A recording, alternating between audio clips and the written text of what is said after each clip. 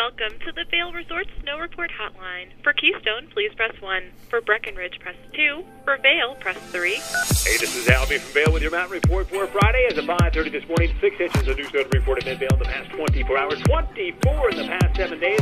We have a 46-inch settle base. 30 lifts will be in operation to bring you to 185 runs at Lawrence Park on 4,526 acres. With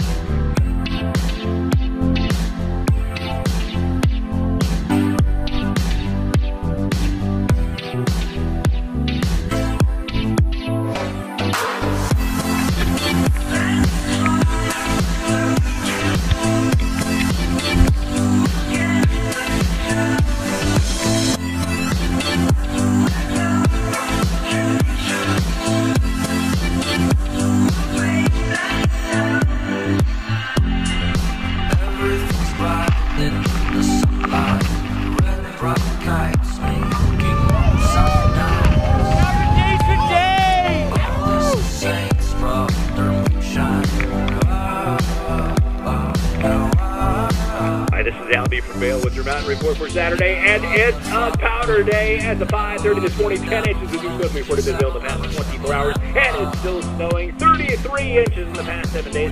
Settle base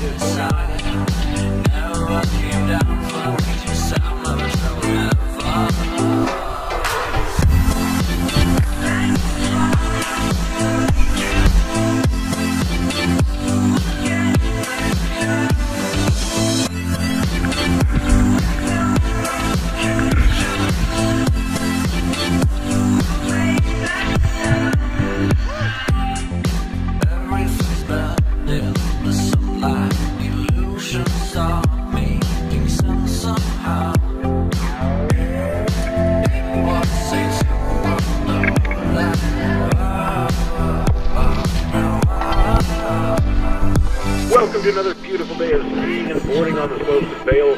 This is your report for Sunday, January 12th. Looks like we've got 23 degrees at 5:30 this morning and clear skies. Looking for some clouds to roll in. Temperatures getting up to that mid 30 degree range, but a good chance of some more snow today and tomorrow as well.